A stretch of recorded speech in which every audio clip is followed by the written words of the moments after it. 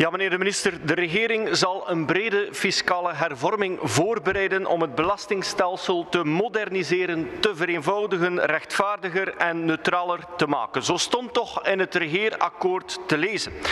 En u bent dan ook heel enthousiast aan deze regering begonnen. Maar met die fiscale hervorming van u lijkt het ondertussen een beetje te lopen zoals met uw partij. Niks lijkt nog te lukken.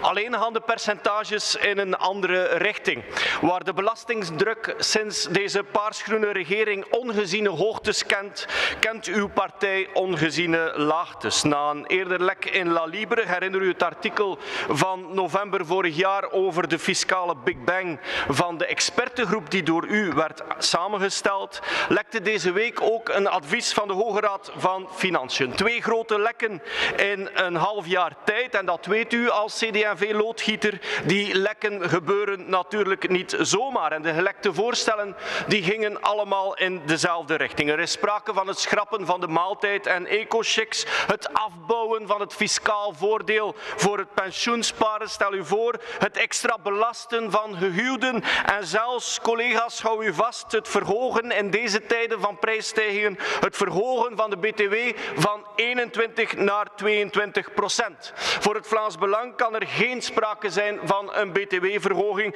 en moet het totaal totale belastingdruk niet worden verhoogd, niet worden verschoven, maar worden verlaagd. En vandaar mijn vragen, hoe zit het met uw fiscale hervorming? Wanneer komt u met uw blauwdruk naar het parlement en u verklaart aan iedereen dat er geen taboes zijn in die fiscale hervorming, maar is er dan echt geen enkel breekpunt voor uw partij? Waar staat de CD&V eigenlijk nog voor?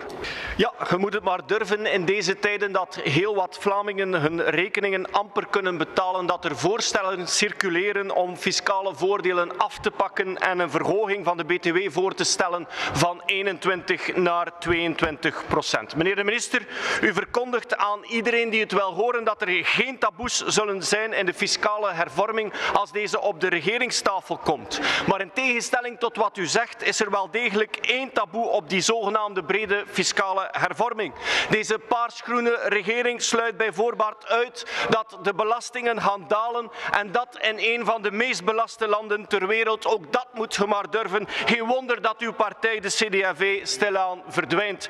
Deze regering is een onvervalste belastingregering, zoals elke Belgische regering dat doet. Nieuwe belastingen op kap van de hardwerkende Vlamingen. Voor ons en onze kiezers is het wel duidelijk, we hebben nood aan meer Vlaanderen en minder belastingen.